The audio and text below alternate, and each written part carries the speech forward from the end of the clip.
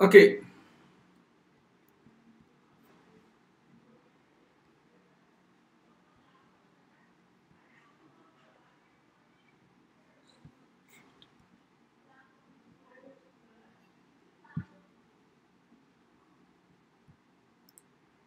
Hello and welcome to One Unacademy. I am Rajshekar Reddy, faculty for current affairs. Before starting today's lecture, I would like to tell something about uh, myself and about the Unacademy platform. Uh, I have uh, told you my name. I am Rajshekar Reddy. I have cleared the civil services examination in 2014 and uh, I am a BTech computer science graduate from JNTU Hyderabad. I have seven years experience in teaching current affairs.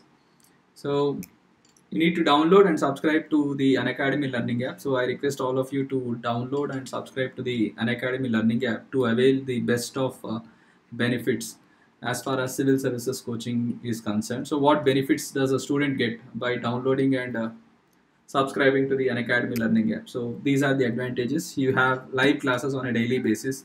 So a number of educators uh, take live classes on a daily basis. In these live classes, you can ask questions to the educator. You can chat with your educator. You can engage in discussions with your educator. And you can also answer questions or answer polls um, that are conducted by the educator. So all these can be done during the live class. So these are interactive in nature.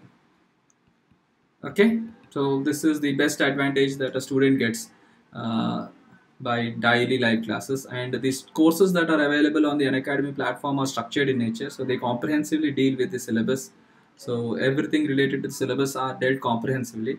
So in youtube you have uh, a number of free videos uh, of the unacademy platform but they are not structured in nature. Uh, they will be structured if you join uh, the unacademy learning app and take the plus subscription. So in this case in this case you can uh, have complete coverage of the syllabus.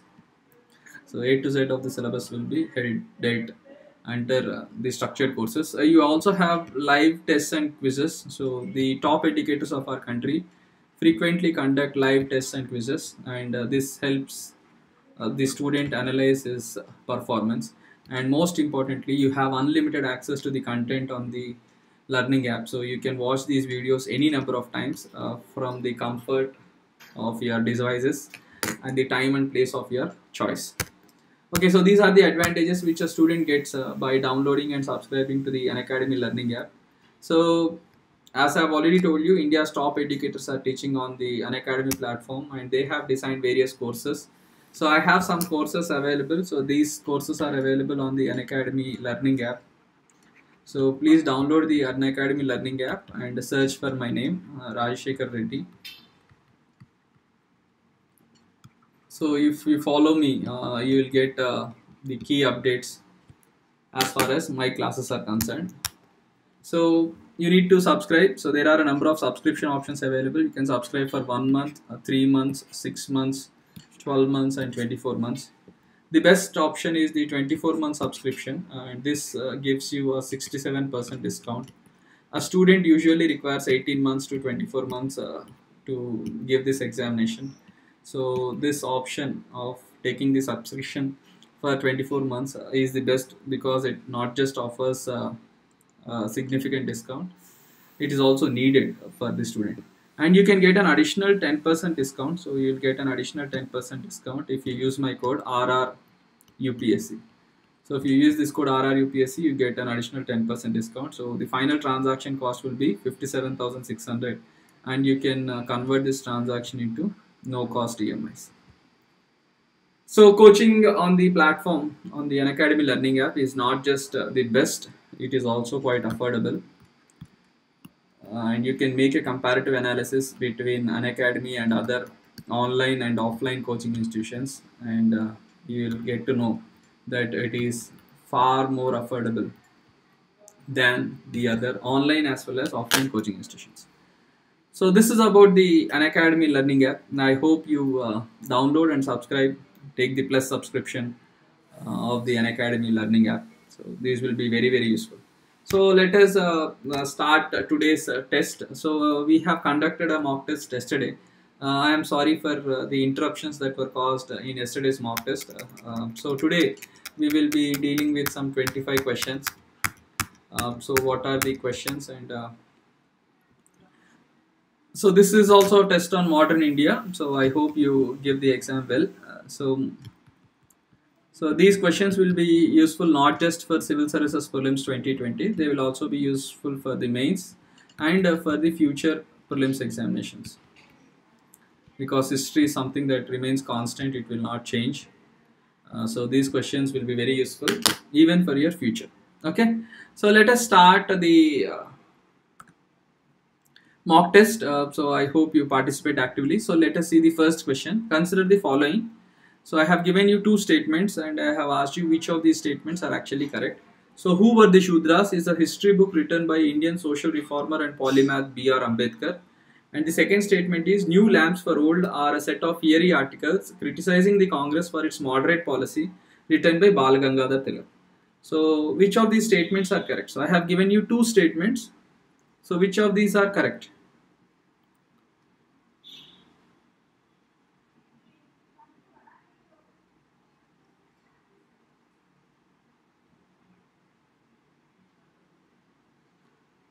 So time's up. Uh, so let me. Um, uh, so there is no one who has given the answer. So first, uh, who were the Shudras? Is a book which was written by Dr. B. R. Ambedkar. This is a correct statement. So this is one of the most important works of Dr. B. R. Ambedkar. However, New Lamps for Old was not written by Bal Gangadhar Tilak. It was written by a person called Aurobindo Ghosh. Aurobindo Ghosh is the person. So he was an extremist leader initially, and he gave up uh, his extremist ideology and uh, and he settled in Pondicherry.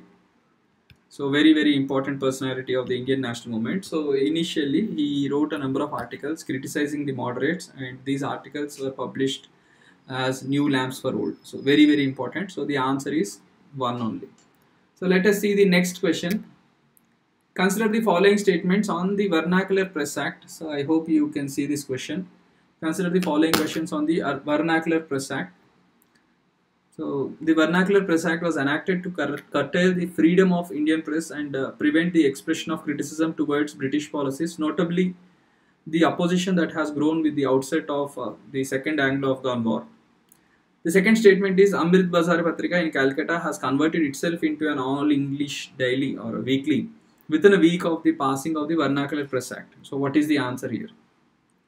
So I have given you two statements on the Vernacular Press Act and I have asked you which of these statements is correct.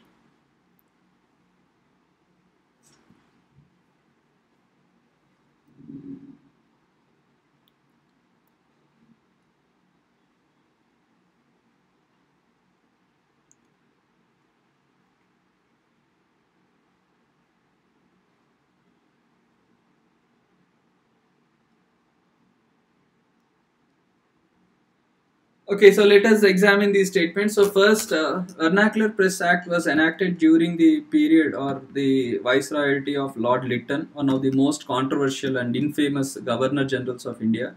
So he, his tenure saw a number of acts enacted, uh, so which were very very critical of the Indian national movement as well as the Indian public. So the vernacular press, that is the local press, uh, that is non-English press, was very critical of Lord Lytton so, in order to curtail the freedom of the Indian press, he has enacted the Vernacular Press Act, and this act was applicable only on the press of the local languages.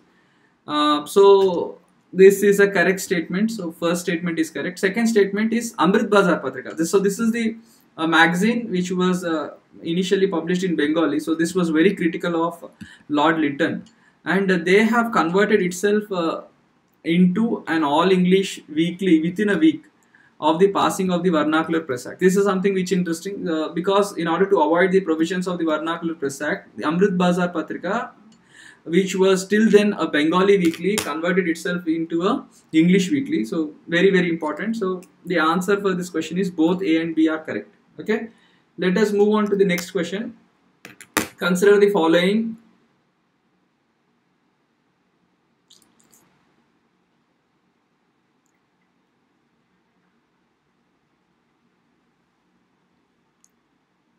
I have given you three organizations and I have asked you who established the, these organizations or whether these organizations were established by Subhash Chandra Bose or not. So which of these organizations were established by Subhash Chandra Bose?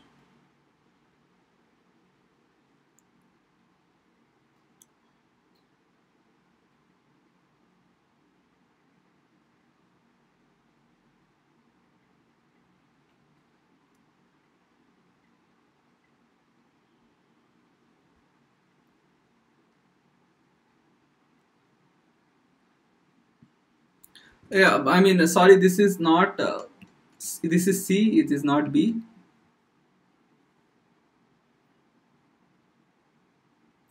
So what is the answer? So first of all let us see who established bengal volunteers. Yes bengal volunteers was established by subhash chandra bose and it was established in 1928 so many people uh, uh, don't know about this. Bengal volunteers was established by subhash chandra bose and this was a revolutionary terrorist organization um, so in 1930, the members of the Bengal Volunteers Group, uh, Binoy Basu, Dinesh Gupta, and Badal Gupta. So these three persons uh, killed an official of the British government. His name was Simpson, and this act was carried out in uh, Calcutta and the Writers' Building of Calcutta and that is the reason why this organization is very very famous um, so the second uh, state uh, organization is Free India Legion. This was also established by Subhash Chandra Bose. So this was established by Subhash Chandra Bose, uh, and uh, this was established in Germany. And the purpose of this organization was to uh, get independence for India with the support of the Germans. However, uh, Germany was stuck in the Second World War, so not much progress was being made in the Second World War and uh, Subhash Chandra Bose uh, took a different step. He came to Singapore and uh, took over the leadership of the Indian National Army. Uh, so he took Japanese assistance to secure Indian independence. So initially he believed that uh, it is better to take the German assistance, but he later uh, took the Japanese assistance. And this is very important. But Indian National Army, however, was not established by Subhash Chandra Bose. It was established by a person called Captain Mohan Singh. So this is uh, something which you need to note. So the answer for this question is A and B only. So A and B only is the answer. Uh, very good Ritu. Uh, you have answered this correctly. Uh, Nabam Julie has also answered this correctly. So let us move on to the next question. How many women were elected as presidents of the Indian National Congress before independence?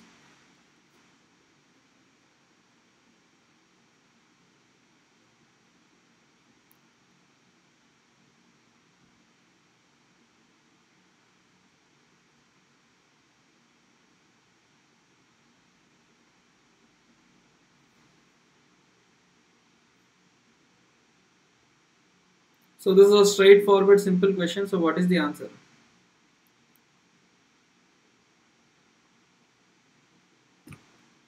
Okay, so nobody has answered this. So the answer for this question video is there any problem with the video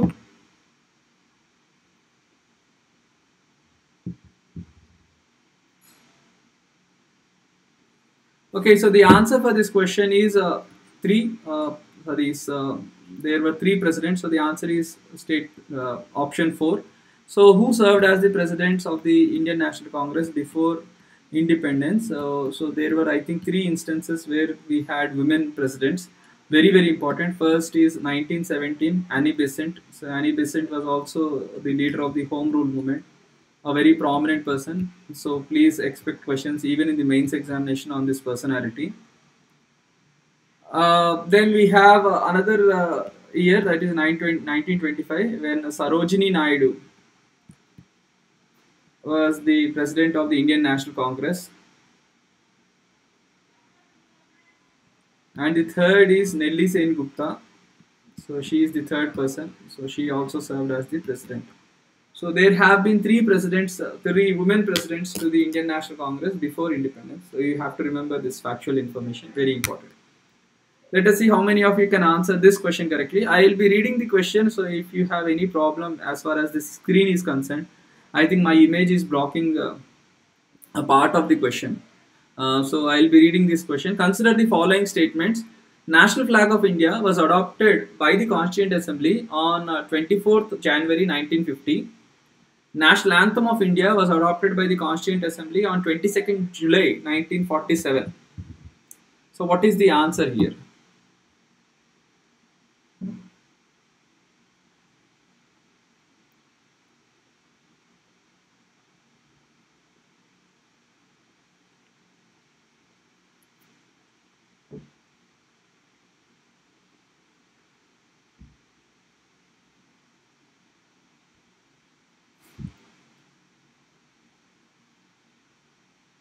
So L Kushal Reddy, uh, you have to call me after the class. Uh, I think you have my number. Okay, so what is the answer here? Uh, so the answer for this question is uh, neither A nor B. Uh, so this is a trick question. Uh, so the national flag of India was adopted by the Constituent Assembly on 22nd July 1947, and the national anthem was adopted on 29 January 1950. Some provisions of the Constitution of India entered into force before 26th January 1950. So you need to know the provisions which entered into force before this date of 26 January 1950. Very important uh, for the examination. Okay. So let us uh, see the next question. Who among the followings reporting of the Salt Satyagraha and raid on the Dharasana salt works was credited for helping turn world opinion against the British colonial rule of India?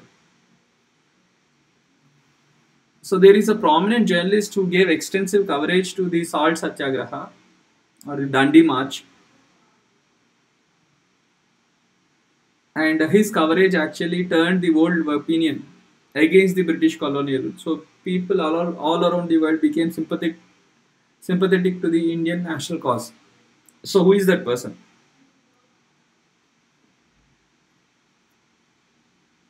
So, who among the following, uh, who among the following's reporting of the Salt Satyagraha and raid on the Dharasana salt works was credited for helping turn world opinion against British colonial rule of India? So, the answer for this question is Webb Miller. So, Webb Miller, a prominent American journalist, gave extensive coverage uh, to this event and uh, it helped change the opinion of the world against the British colonial rule. Okay, let us move on to the next question. So, I have given you three areas and I have asked you where were referendums held in these three areas to decide the future of their respective regions.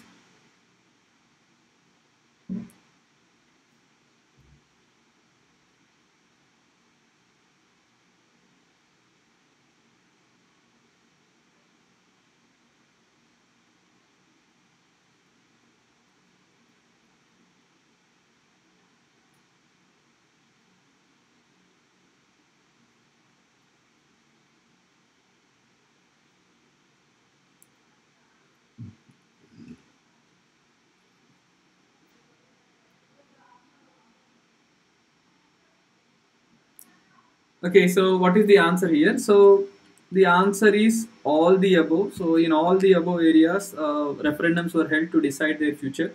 Sylhet was part of the province of Assam. Uh, Assam province had a Hindu majority.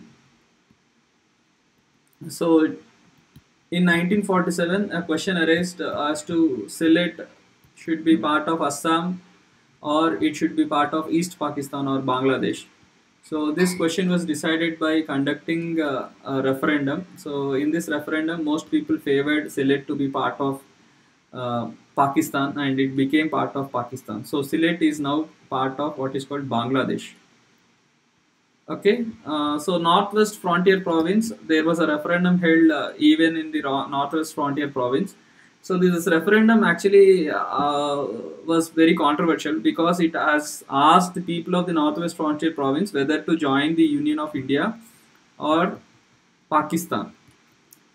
So this province is presently in uh, Pakistan. It is now called Khyber Pakhtunkhwa, and the capital of this province is Peshawar.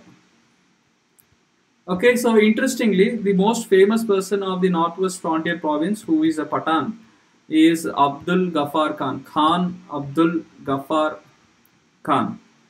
He did not participate in this referendum. Only 51% of the eligible voters participated in this referendum, and more than 99% of these people uh, have chosen to be part of Pakistan. Only 0.9% of the people have chosen India. Why has Khan Abdul Ghaffar Khan not participated? He wanted Northwest Frontier Province either to be independent. So he either wanted Northwest Province to be independent or to be merged with Afghanistan. This was, however, not accepted by the British. These options were not given, and that is the reason why he decided to boycott this. Okay, so this is something which is important. Uh, a referendum was held in Junagadh, uh, but it was held in the year 1948. So it was not held in 1947. It was held in 1948. The reason is simple. So this is a princely state, and in 1947 they have not taken a decision whether to join India or Pakistan. Uh, but later in November 1947, uh, the ruler who was a Muslim and the population which had a majority Hindu uh, decided to sign the agreement of accession, so the instrument of accession with uh, Pakistan. And this has angered the people of Junagadh and they revolted against the ruler. So there was a brief uh, military standoff and Indian army took control of Junagadh and finally, in February 1948, a referendum was held, and more than 99% of the people voted in favor of the merger of Junagadh with India. So there have been areas where referendums were held before independence. So these are the sorry before and after independence. So these are the areas. All the three areas have witnessed what is called a referendum. So let's just move on to the next question. So consider the following viceroys of India during the British rule. So arrange these viceroys in the chronological order. So what is the correct chronological order of the viceroys?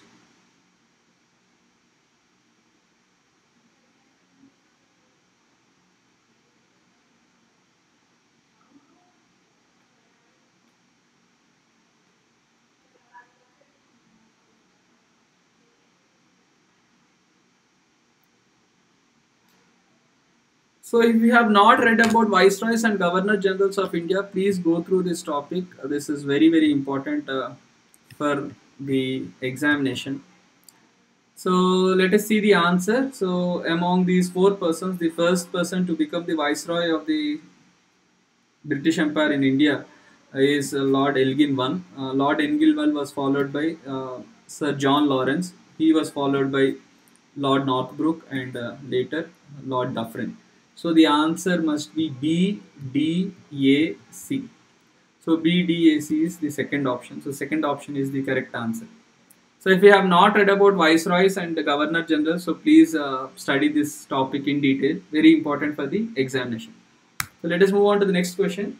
The third Anglo-Maratha war was the final and decisive conflict between the British East India Company and the Maratha Empire in India.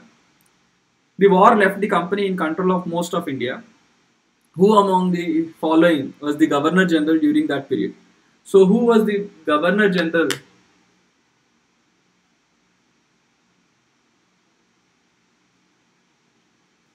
During this period. Okay so what is the answer here? So the answer let us see how many of you can answer this. So i'll read this. The third anglo maratha war was the final and decisive conflict between the British East India Company and the Maratha Empire in India. The war left the company in control of most of India. Who among the following was the Governor General during that period? So what is the answer here? So the answer here is Lord Hastings. So Lord Hastings served as the Governor General of the British Empire during this period. I think he served for 10 years from 1823 to 18 sorry 1813 to 1823 and during this period the decisive third Anglo-Maratha war was fought. Let us move on to the next question. In Indian history, who among the following surrendered the Kohinoor diamond to the British? So the Kohinoor diamond is now part of the British crown jewels. So who gave the Kohinoor diamond uh, to the British?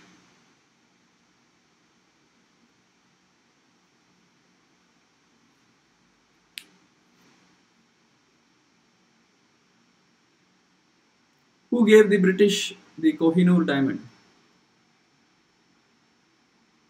So let us see how many of you can answer this. Nobody has answered it now till now. Okay, so the answer for this question is uh, the it is the Sikhs who have given the Kohinoor diamond. Kohinoor diamond uh, is believed to have been uh, what you call mined uh, in Andhra Pradesh. I think Kollur mines in Andhra Pradesh, that is the Guntur district of Andhra Pradesh, is the place from which uh, this mine is said to have been mined. Uh, so it was said to be part of the Kakatiya empire. So it was initially held by the Kakatiya rulers. Uh, then uh, it uh, was taken by the Mughals. From Mughals, it went to Afghanistan. From Afghanistan, it came to the Sikhs, and from the Sikhs, it was uh, taken by the British. So after the Second Anglo-Sikh War,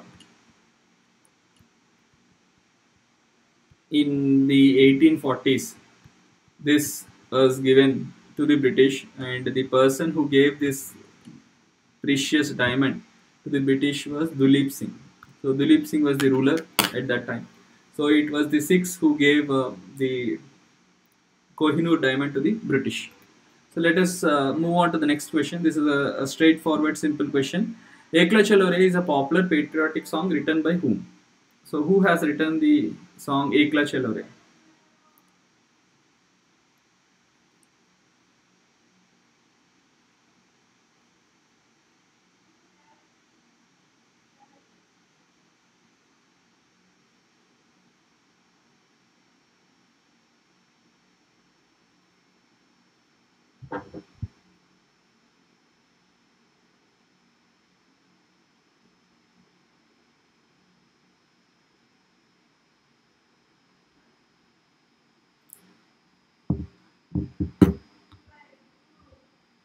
So what is the answer here? This is a straightforward question and a simple question. Ekla Chalo Re is a very very famous patriotic song which was uh, written by Rabindranath Tagore. So this is a famous Bengali song written by Rabindranath Tagore. You must uh, listen to this song, a very beautiful song. Okay.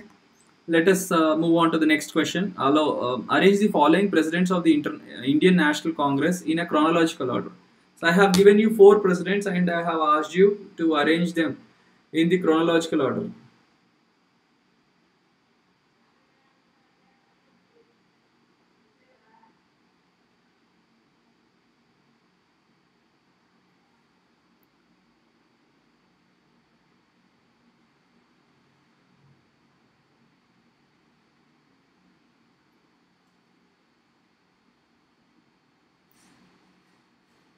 So what is the answer here uh, so the this is something which is important so if you have not read about the presidents of the indian national congress so please study this topic very important for the examination so the answer here is uh, so first is william wedderburn then we have george Yule, then it is Firoz Mehta and then Ananda Charlu. So that is A, B, D, C. So this is the answer.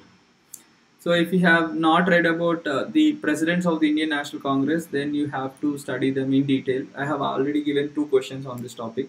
So very important. So let us move on to the next question. So I have given you a war here and I have uh, mentioned the name of the administrator of the British Empire or the Viceroy or Governor General of the British Empire. So is the pairs correctly matched?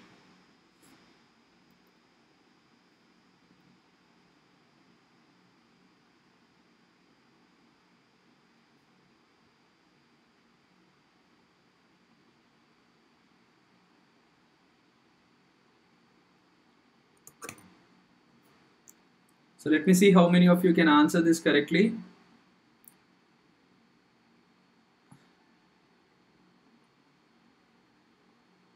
So what is the answer? So the first Anglo-Afghan war was fought under the leadership of Lord Auckland. This is correct.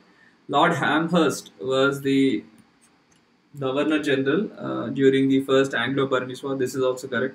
Henry Hardinge was the governor during the time of the first Anglo-Sikh War, and the second Anglo-Afghan War was fought under the leadership of Lord Lytton.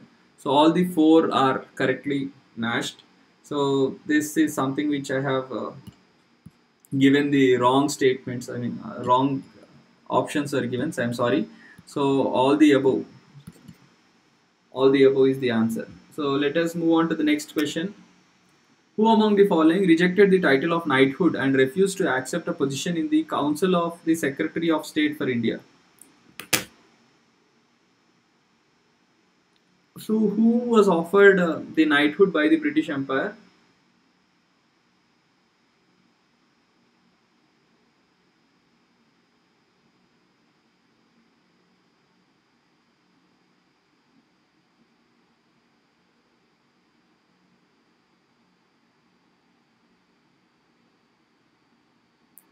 Okay, so what is the answer here? So the answer uh, for this question is Gopalakrishna Gokhale. Gopalakrishna Gokhale, one of the most prominent persons of the moderate section of the Indian National Congress, rejected the knighthood which was offered to him before his death.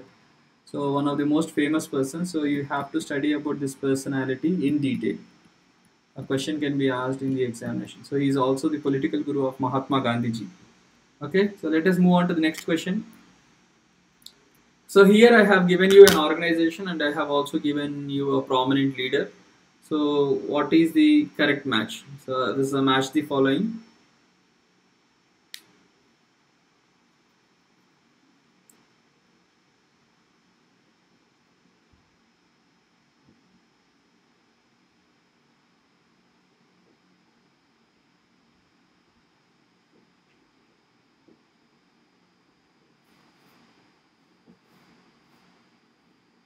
I think many people, many prominent administrators of the British Empire were given the knighthood, but not many of them actually are uh, uh, known in the Indian national movement. For example, C.V. Raman, Sir C.V. Raman. So he was given uh, the knighthood. So many people were offered the knighthood, but most of the Indian national movement leaders did not accept it. Okay, uh, so what is the answer here? So Prarthana Samaj was founded by Atmaram Pandurang Veda Samaj was founded by Keshava Chandra Sen and Deva Samaj was established by Narayan Agnihotri and Young Bengal movement was established by Henry Vivian Derozio. So the answer is 4321. So 4321 is the answer. Okay. So let us move on to the next question. So consider the following statements on the INA trials. So INA trials are also called the Red Fort trials the persons who participated in the war against the British Empire, that is the Indian National Army, led by Subhash Chandra Bose, were brought to trial, which are called the Red Fort trials. So they were historic in the sense that uh, they put a lot of pressure on the British Empire to leave India and there was also a lot of sympathy for uh, the persons who stood trial. Okay, so what is the answer here? The defense of the INA prisoners was taken up by the Congress and Bhulabhai Desai, Tej Bahadur Sapru, K.N. Katju, uh, Nehru and Asaf Ali appeared in court uh, at the historic Red Fort trials. So is this correct? Yes, this is a, a correct statement. Uh, so these people have uh, defended the INA officers. Then uh, the second statement is Indian National Congress and the Muslim League both made the release of the three defendants as an important political issue during the agitation for independence. So this is also correct. So it is interesting that uh, both uh, were on the same side for at least once uh, in the 1940s. So in the 1940s, there were a number of issues on which the Indian National Congress and the Muslim League differed at least on this issue they have taken the same stance so the answer for this question is both a and b are correct so let us move on to the next question consider the following statements on tej bahadur sapru So many people don't know about Tej Bahadur Sapru. He is a prominent leader of the Liberal Front. So All India Liberal Front also produced some very famous persons who played an important role in the Indian national movement. So what is the answer here?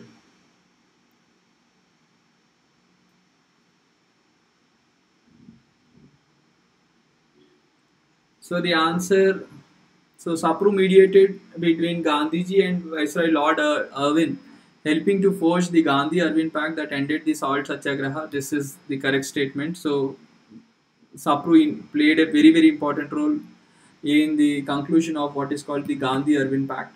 Sapru mediated between Gandhiji, Bhimrao Ambedkar and the British over the issue of separate electorate for the untouchables which was settled by the Pune Pact. This is also correct. So this is also correct. So both the statements are correct. So this is a very very important topic for your examination. So please focus on the Gandhi Irwin Pact as well as the Pune Pact. Interestingly, in both these uh, areas, uh, Tej Bahadur Sapru played a very important role.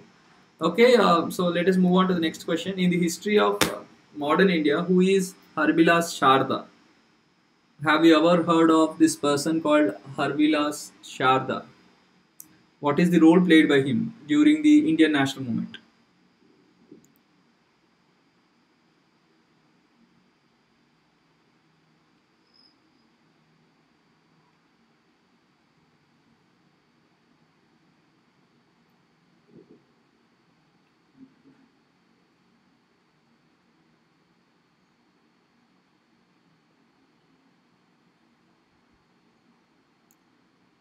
So the answer for this question is prominent social reformer. This person uh, fought against this evil practice of child marriage. So child marriage is something that is prevalent even to this day in India. So this person Harbilas Sharda fought against this and he successfully uh, I mean he helped the British uh, in enacting what is called the Child Marriage Restraint Act so, Child Marriage Restraint Act was passed in the year 1929 and uh, this fixed the age limit for boys and girls or men and women, we cannot call them men and women, for boys and girls. Uh, so, the minimum age of marriage for men and women was fixed by the Child Marriage Restraint Act. So, this was later amended, very important for the examination. So, let us see the next question. Which of the following cases was hatched by the British against the growing influence of the communists in India.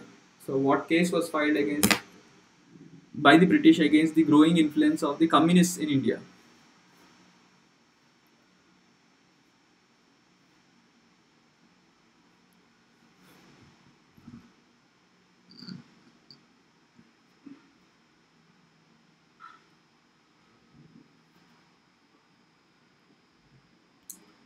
So this is actually a straightforward question, but uh, anyways, I would like to tell you that if you have not read about conspiracy cases, so there are a number of conspiracy cases. Uh, in yesterday's exam, we actually looked into the Kakori conspiracy case.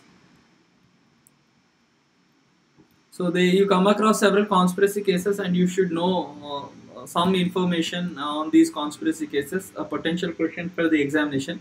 The answer here is the Meerut conspiracy case. In this case, as many as 31 communists were uh, arrested and uh, put on trial uh, for carrying out anti-British activities. So this is a historic case. This is called the Meerut conspiracy case. Three Britishers were also, I think, involved in this case.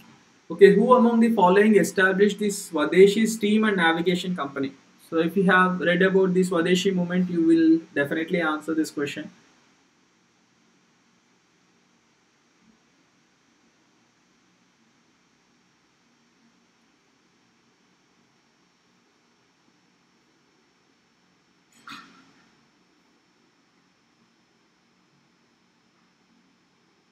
So who established the Swadeshi Steam and Navigation Company?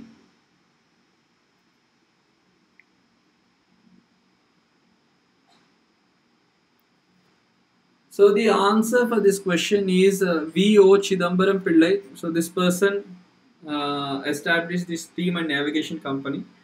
Uh, so that was one of the important events during the Swadeshi movement. So V.O. Chidambaram Pillai. So let us uh, move on to the next question. Uh, let us see how many of you can answer this question. Moirang, the place at which the Indian National Army hoisted the national flag during the World War II, is located in which state or which country?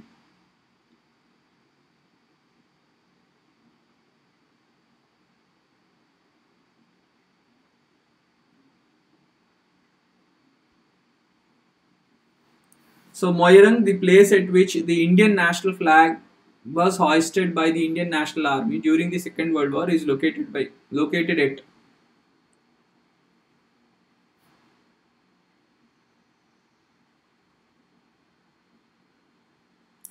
So this is a, a very important question. Um, let us see how many of you have answered this. Very good. So some of you have answered Akash Gogai, Nabam. Very good. Uh, so this place is uh, in Manipur. So in Manipur, this incident happened uh, in I think on April 14, 1944. So this is one of the most uh, important and interesting moments of the Indian National Army. So they hoisted the national flag in uh, Manipur after their victory in what is called the Battle of Imphal. So very important for the exam. So Moirang is in Manipur. So let us see how many of you can answer the question number 22nd correctly. So, who, which of these incidents is not associated with Lahore? Which incident is not associated with Lahore?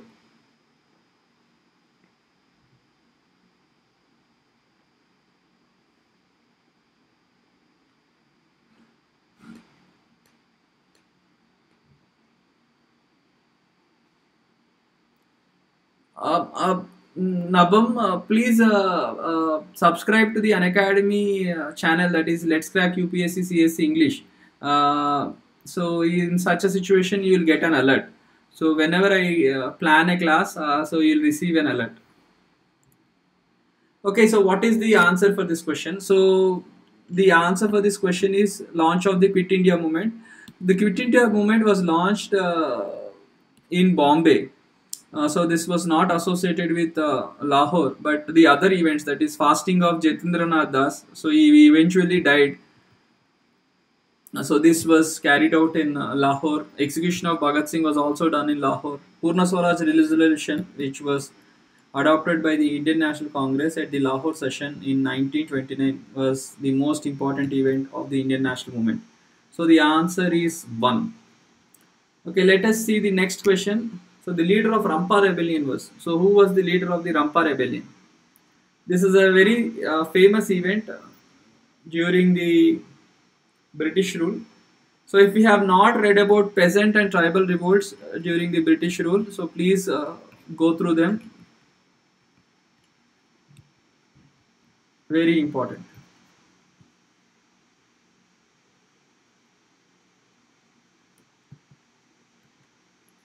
So what is the answer here? So 22nd, 23rd. Can anybody answer this question?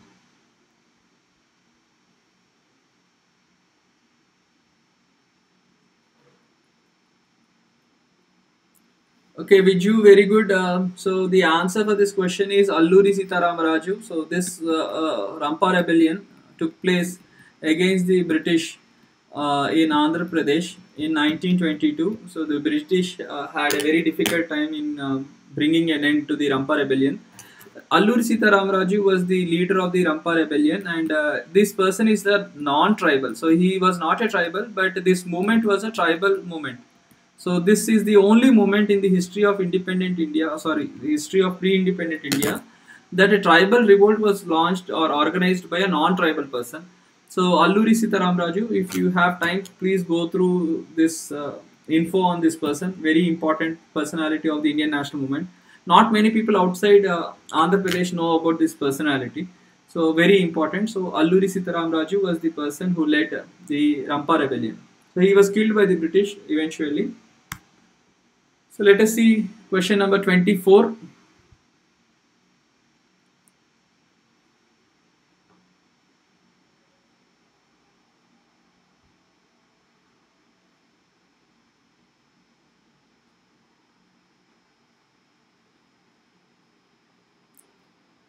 Uh, because uh, I think you will, uh, if you want to have the PDF, uh, so I am um, the giving this number. Uh, this is my number. So please uh, message me at this number. I'll I'll send you the PDF. Okay.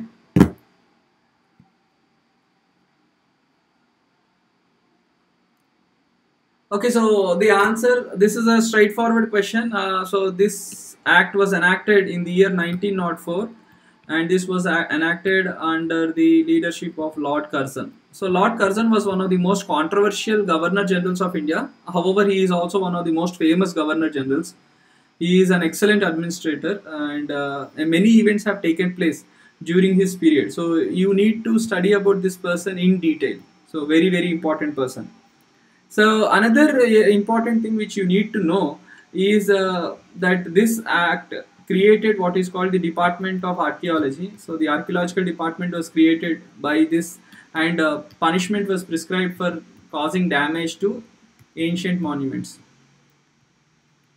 So this is a very important act enacted during the term of Lord Curzon. I have given you my number Vikas Das 7893 Okay, let us move on to the next question. When the Indian Muslim League was inducted into the interim government in 1946, Liaquat Ali Khan was assigned the portfolio of what? What was the portfolio which was assigned to Liaquat Ali Khan? So there was an interim government which was established. This functioned uh, 1946-1947. The head of the interim government, that is the vice chair of the Indian interim government, was Jawaharlal Nehru. However, initially the Muslims said no. Later they joined the interim government, and uh, the most controversial person who joined the interim government was Liaquat Ali Khan. What was the portfolio that was held by this person? So the portfolio which was held by Liaquat Ali Khan was finance. So he held the finance ministry and he made it difficult for the Indian National Congress to carry out the administration. So he became uh, a thorn uh, like issue. So he made it difficult for uh, carrying out the administration. So the answer for this is finance portfolio. So this is the exam. So I have selected 25 questions. So I have finished the exam in 50 minutes. I hope you really like the questions. So please uh, go through the questions once again. If you have doubts, you can reach, reach me. I think you all know my number. So thank you for participating. Uh, so please use this code RRUPSC if you subscribe to the Unacademy Learning app. So I request you or I suggest you to take uh, the Unacademy Plus subscription. You get a number of advantages by doing so. So and use this code RRUPSC uh, for availing a 10% discount. Okay, so thank you for participating and uh, have a, a very good day.